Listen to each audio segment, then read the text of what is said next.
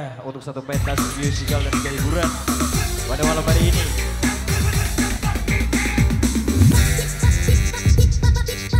Oke deh, mohon maaf ya mas ya. Bisa, seperti saya ono-ono wae lah. Yang penting asik buat goyang, asik buat joget. Dan kami juga coba mengaturkan lagu-lagu terbaru sesuai dengan permintaan dan juga keinginan dari anda semuanya. Ya. Untuk berikut jalan-jalan ke sebuah laut. Meskipun Kudus belum punya laut ya, tapi kita bisa mencari laut uh, di ujung utara. Cinta dan direstui, oke deh. Bele tatang, monggo, mang sih nggak, ngombe sih,